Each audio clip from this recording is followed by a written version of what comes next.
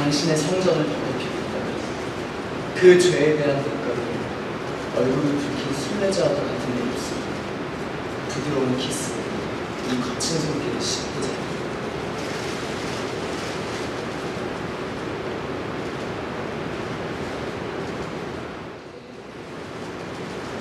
입맞춤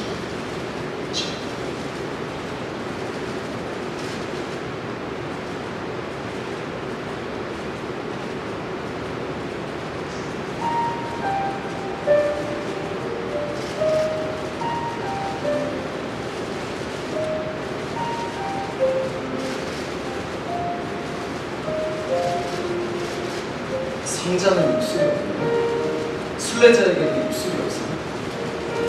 순례자님, 그건 기도를 하기 위한 입술이죠.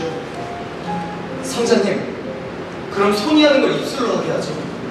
이 입술이 이렇게 기도하고 있으면 허락해줘요. 믿음이 절망으로 변하지 않게. 성녀상은 움직이지 못해요. 기도를 들어줄 수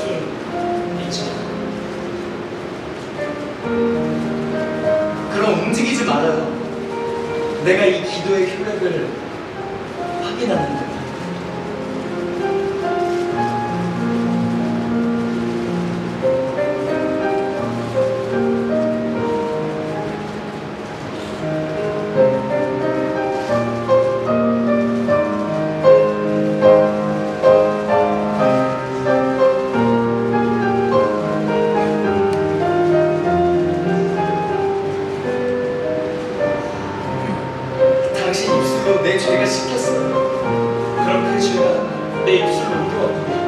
내 입술의 죄가 당신이고 아 이렇게 달콤하게 원망스러웠어.